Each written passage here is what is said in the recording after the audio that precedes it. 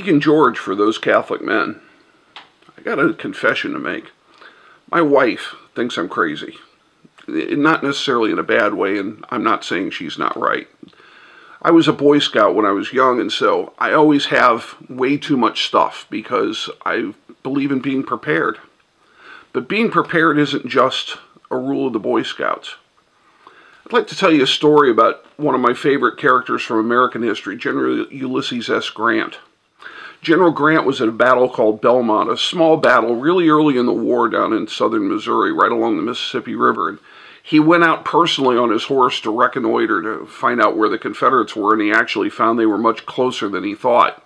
And he was in a very dangerous position, possibly being killed or captured. He came to the edge of a steep bank on the Mississippi River, and the barge that had brought him there was down many feet below him. And the bank was really just incredibly steep without missing a beat as his men thought that he would be killed. He sat his horse down. Now think about this. Like a dog with a man on his back, he actually sat the horse down and had the horse slide on its rear end down the bank, its front feet holding him back, and simply stepped onto the barge. The fact is, Ulysses S. Grant was a great horseman and he had prepared himself as a horseman to do whatever it would take to bring him and his horse safely through any situation. Everyone was amazed at what he had done.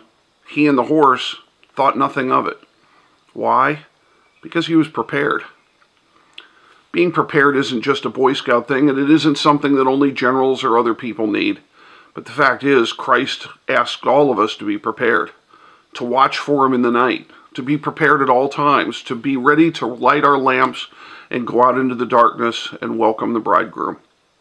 So be prepared. Be prepared here and now, and be prepared for eternity.